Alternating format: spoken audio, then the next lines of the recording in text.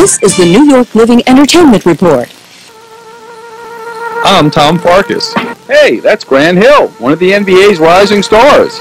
He's got no problem with the dunk, and very little here with the funk.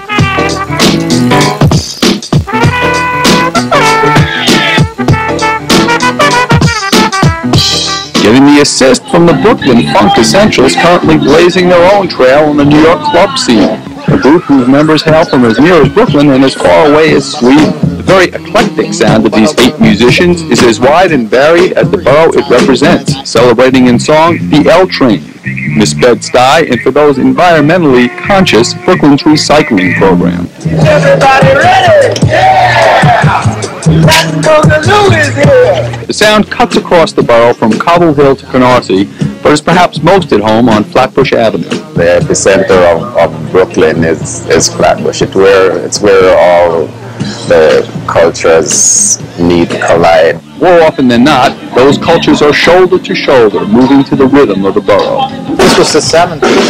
We, they, people would just file us under soul, R&B.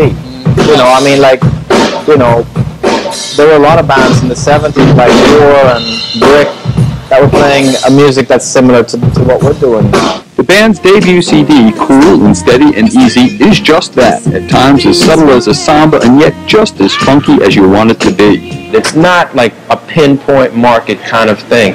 And it's also not a pinpoint radio kind of thing, too. It's like the music stretches across barriers, and um, as a result, you know, it's able to be listened to by a lot of different folks. Wait a minute now, different strokes for different folks? My greatest hero is Sly Stone. Well, maybe that's why this music is just one big family affair. Tom Farkas, New York One.